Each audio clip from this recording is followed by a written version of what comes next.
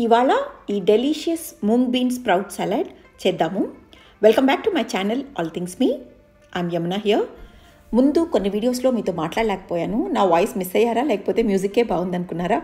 మీ opinion నాకు తప్పకుండా చెప్పండి. అందరూ బాగున్నారనుకుంటాను.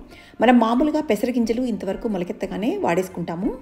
అలా కాకుండా ఇంకో నాలుగు రోజులు ఉంచితే ఇలా చిగురు వచ్చి బాగా మొలకలు వచ్చి వేర్లు కూడా వచ్చేస్తాయి.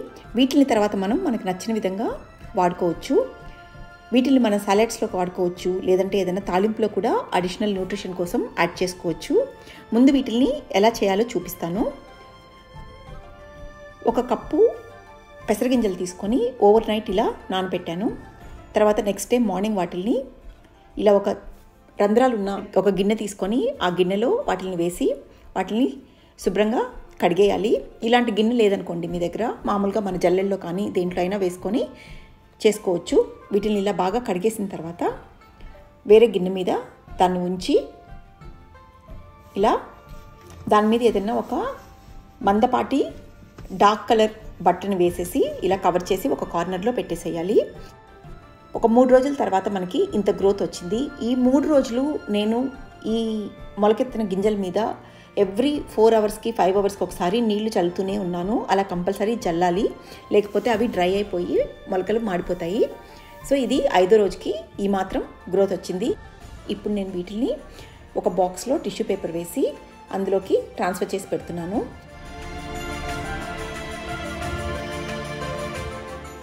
వీటిని మనం మట్టిలో పెంచలేదు కాబట్టి ఏమీ మురికి ఏమి ఉండదు. వీటిని వేర్లు కూడా కట్ చేయకుండా అలాగే వాడేసుకోవచ్చు. ఇప్పుడు దీన్ని నేను ఫ్రిడ్జ్లో పెట్టి అవసరమైనప్పుడు ఎంత కావాలో అంత క్వాంటిటీ తీసి వాడుకుంటాను. ఇవాళ నేను ఒక సాలెడ్ చేయాలనుకున్నాను. అందుకని రెండు కుప్పెళ్ళు ఈ స్ప్రౌట్స్ తీసుకొని వామ్ వాటర్లో వేసి ఒక ఫైవ్ మినిట్స్ అలాగే ఉంచాను. హాట్ వాటర్లో అయితే వన్ మినిట్ ఉంచండి. వామ్ వాటర్లో అయితే ఒక ఫైవ్ మినిట్స్ ఉంచండి.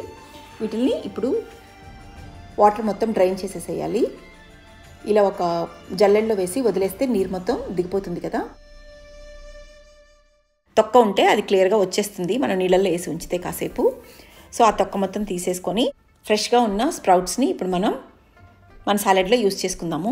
దీనికి మనం ఒక చిన్న ఉల్లిపాయ తీసుకొని నేను తీసుకుంది రెండు గుప్పెళ్ళు స్ప్రౌట్స్ కాబట్టి ఒక చిన్న ఉల్లిపాయ కానీ లేకపోతే హాఫ్ మీడియం సైజ్ ఉల్లిపాయ కానీ తీసుకొని వాటిని ఇలా సన్నగా చాప్ చేసుకోవాలి.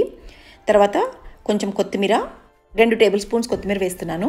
దీన్ని కూడా చాప్ చేసుకొని ఇలా ఒక బౌల్ తీసుకొని ఆ బౌల్లో ముందు ఒక టేబుల్ స్పూన్ నువ్వుల నూనె వేసుకుందాము.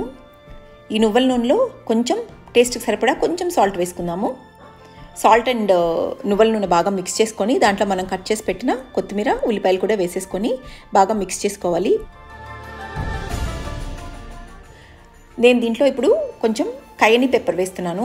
ఇది మీ దగ్గర లేకపోతే రెడ్ చిల్లీ ఫ్లేక్స్ వేయండి. అలాగే ఒక టీ స్పూన్ నువ్వులు కూడా వేస్తున్నాను. ఇవన్నీ వేసి బాగా మిక్స్ చేసుకుందాము. మీకు మంచి గార్లిక్ వాసన నచ్చే పని అయితే దీంట్లో గార్లిక్ పౌడర్ కానీ క్రష్డ్ గార్లిక్ కూడా వేసుకోవచ్చు. దాని తర్వాత దీంట్లో మనం కడిగి పెట్టిన ముంగ్ బీన్ స్ప్రౌట్స్ వేసేద్దాము. వేసేసి ఇలా బాగా మిక్స్ చేసుకొని ఒకసారి సాల్ట్ అది చెక్ చేసుకొని కారం కావాలంటే గ్రీన్ చిల్లీ కానీ చిల్లీ ఫ్లేక్స్ కానీ ఏదైనా ఎక్స్ట్రా యాడ్ చేసుకొని ఇంకా సర్వ్ చేసుకోవడమే. యాజ్ ఇట్ ఈజ్ ఒక సాలెడ్గా తినొచ్చు.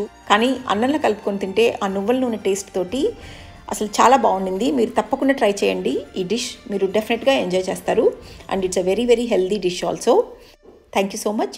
See you soon. Till then. Bye bye